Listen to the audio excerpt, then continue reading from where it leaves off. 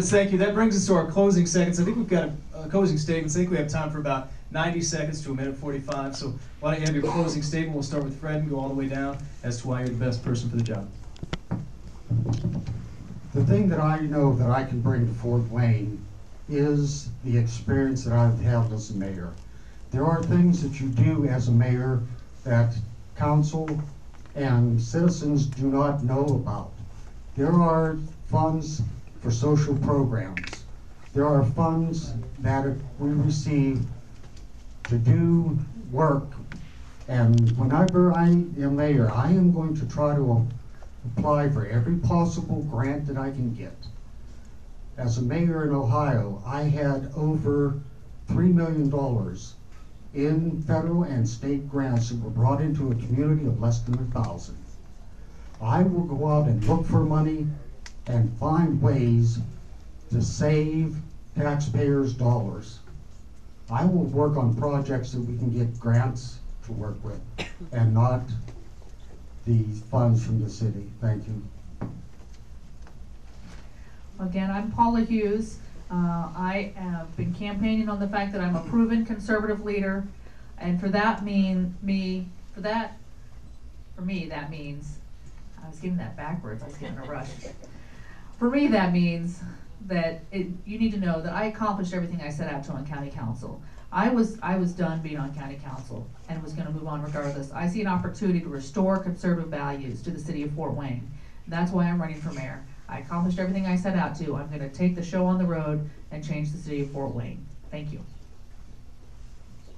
First of all, as, as mayor, I would think it'd be best for the mayor and the city council to communicate, because it doesn't seem like they are really talking, they're probably talking behind their backs, so that's not too good. So, also, stop these incentives that are just wild ideas, pies in the sky. Think this is Wizard of Oz, and everybody's gonna go down Fort Wayne with all the wonderful things we have. You're only gonna see the zoo once, you're only gonna see the pretty marks once, and that's it.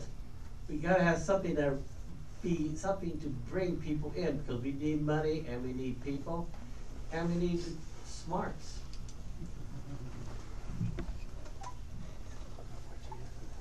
Well, Mason I really value, you know, living here and appreciate what this community has offered our family. And one of the re- key reasons that I decided to run was because I could not see a plan with any of the other candidates for growth. And I think one of the things, uh, if you agree with me, that our number one problem is to solve our declining wage and our job issue, uh, then you have to pick the right leader for the right time. And we all know that leadership matters, and that when you choose the right leader for the right time, is one of the keys to being successful. And I think that Fort Wayne needs a proactive and aggressive mayor who understands the language of business and who understands how to grow an economy. And, and I, I believe that that's what we're gonna need to be successful. And I'm the only candidate in this race that has a det- detailed plan to get that done. You can see that at ericdoden.com and go through it in detail. And my executive experience in business has allowed me to understand the role of an executive and how to get things done at the executive level. Uh, and that's a different skill set than is, is required in legislation. The legislative skill set is different than the executive skill set in my view. And part of what you have to do is be able to inspire people and inspire thousands of people to move in the same direction. So I'm running for mayor to create a culture of innovation. I'm also running for mayor to uh, reduce um, our red tape and our bureaucracy. Uh, and I think if we work together, I'm excited what we can do with Fort Wayne. And I really want to thank you for your interest in Fort Wayne and for coming here and appreciate the opportunity to talk to you about our ideas.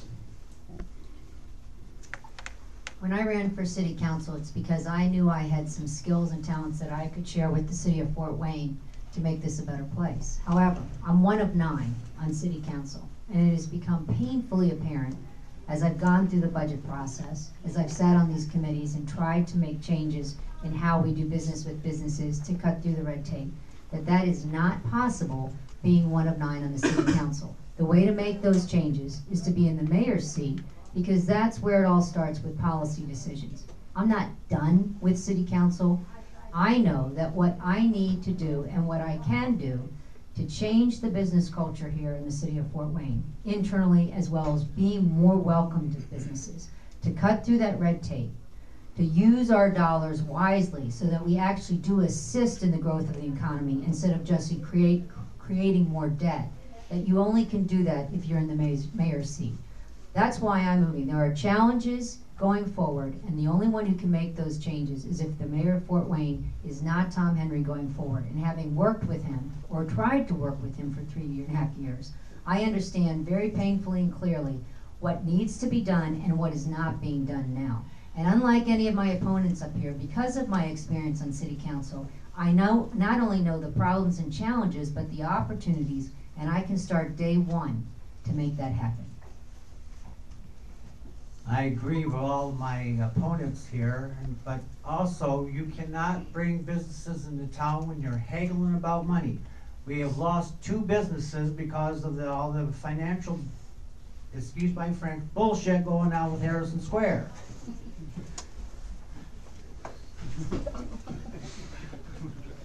I don't know if I can follow that or not. But my, uh, my main thing for Fort Wayne is jobs. If we can get jobs, we're gonna have tax dollars coming in so we can pay down our debt, so we can improve our downtown district, we can improve the quality of life. And I am not a Democrat nor a Republican.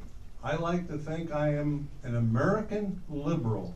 And if I was elected, there would be some Democrats sitting up here at this table to, or Republicans, that I would ask to be a deputy mayor and a new created position of jobs czar to help bring jobs here. Because to me, that's the most important thing we have right now is jobs and to keep our spending down.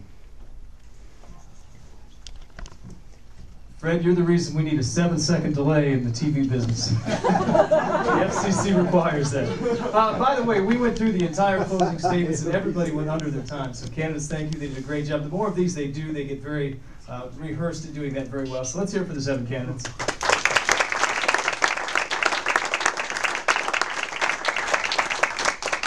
Final thought, May 3rd is the primary. Just keep in mind, Indiana is one of those states you have to pick one of the primaries, Republican or uh, Democrat, that you have to vote for, and then you have to wait until November, obviously, if you want to go both ways. And then ne- next Monday night, we actually were televised debate, debate as well on Indiana's News Center. I believe that is 7 p.m., so five of the candidates will be with us on that. So next Monday night, 7 p.m. Uh, thanks for coming today. I think it's great that you come out and ask questions. Have a great night.